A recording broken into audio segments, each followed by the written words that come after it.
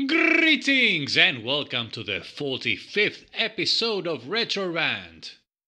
It is time for some Amiga goodness, so we will be taking a look at Arazok's Tomb, released in 1987 by Aegis.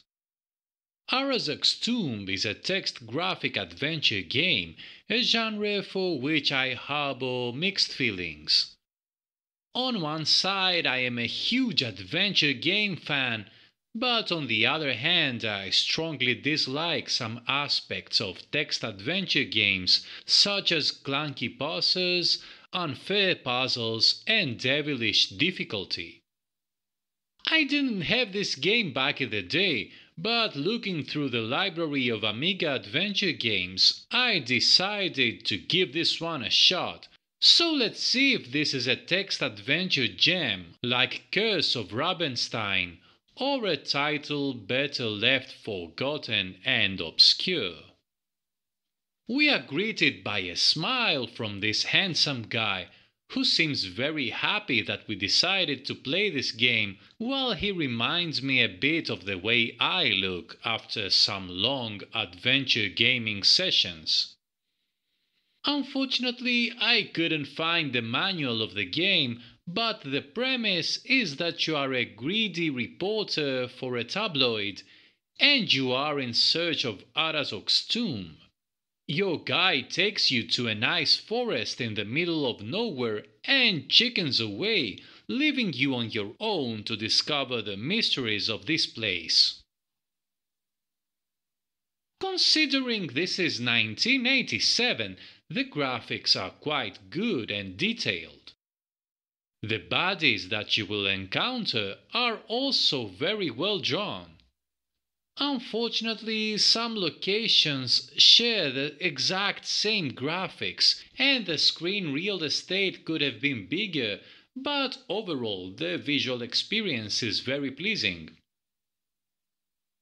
Unfortunately, there is no sound whatsoever in Arazok's tomb, which is a bummer, but lack of sound is another text adventure trope.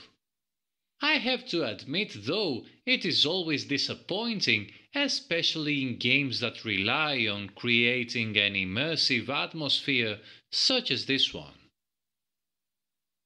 The writing of Arazok's tomb is actually pretty bad, one of the worst I have ever encountered in commercial adventure games. Of course, the top position is maintained by ChronoQuest so far. The descriptions of the locations are very laconic, keeping to a bare, boring minimum. There is absolutely no storyline and no information about the hero or the various characters you meet. Unfortunately, when I encounter substandard writing in a text adventure game, the immersion and the interest completely vanish for me. This is a text adventure game, a genre that heavily relies on written words to convey the experience of being in the game world to the player, so it is only to be expected that the text itself would be the top priority. If you want to experience what I consider to be excellent writing on Amiga games, I would recommend that you check the reviews on The Curse of Rabenstein and Darkmere, although the latter is not a text adventure. The parser of Arazok's tomb is actually quite decent. I had no problem having my commands understood, and the various abbreviations always help to create a fluid gaming experience. Unfortunately, there is no repeat last command shortcut, which is one of my usual pet peeves in text adventures. But how does Arazok's Tomb play as an adventure game? Well, the experience is way below average, although not terrible, because of some inexplicable choices made by the developers. The first botched choice is an extremely limited inventory. While I can understand that such a feature adds realism to an adventure game, in this one the gameplay is 90% inventory management and 10% puzzles because of an extremely limited amount of items that you can carry. If I wanted such a thing, I would rather play one of the awful Dizzy games. The second botched choice which combines with the first one to create an explosive, rating shattering result, is that most of the items of this game are red herrings. So not only do you have to gather a huge amount of crap, which you will never use in this game, you also have the limited inventory. So, when you reach the happy point in time where you have to use everything on everything else and believe me, you will reach this point sooner rather than later. You will need to drop everything in one place, get some items, go to try them, return to the place, pick up some new items, and rinse and repeat. Exciting gameplay, huh?